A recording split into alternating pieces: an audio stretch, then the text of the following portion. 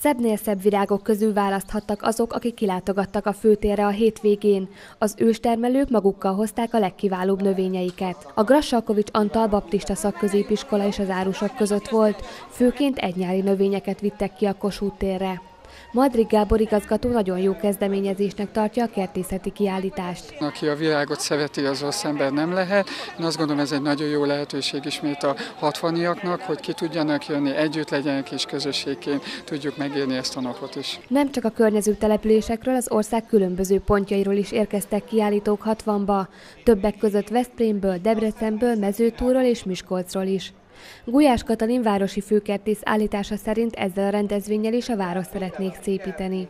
Első alkalommal szerveztük, és pontosan azért szerveztük, hogy még virágosabbá, még szebbé tegyük a várost.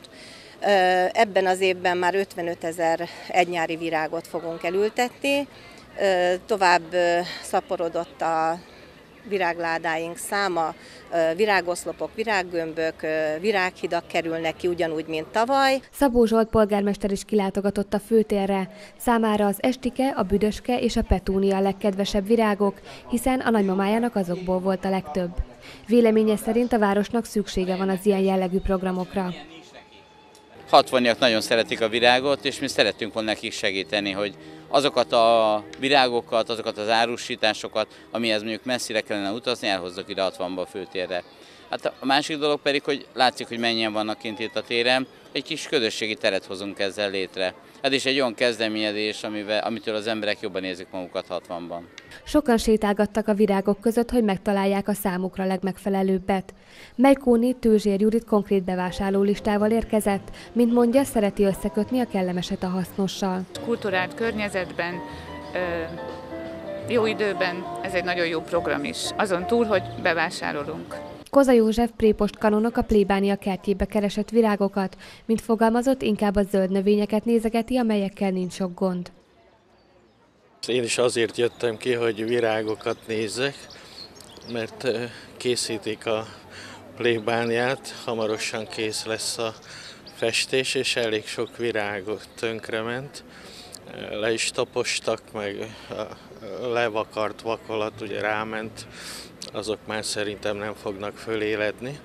És most csak így előre nézek virágokat, hogy miért lehetne ültetni. A kiállításhoz kapcsolódva előadást tartott Andráskó Péter a japán kertekről.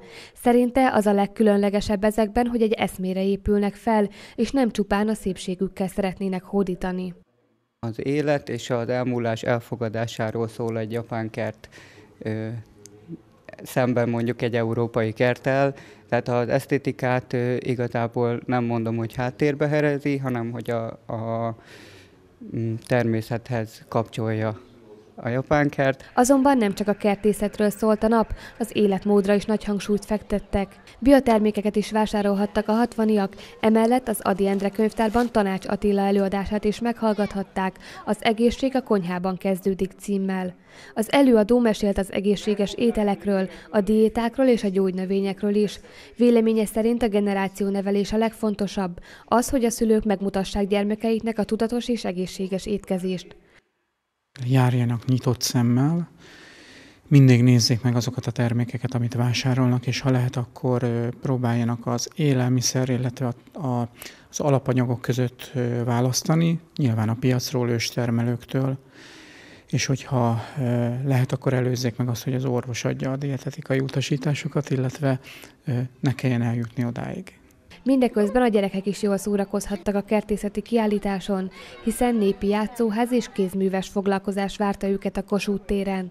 A programok vasárnap is folytatódtak, Bálint gazda tartott előadást a hatvaniaknak.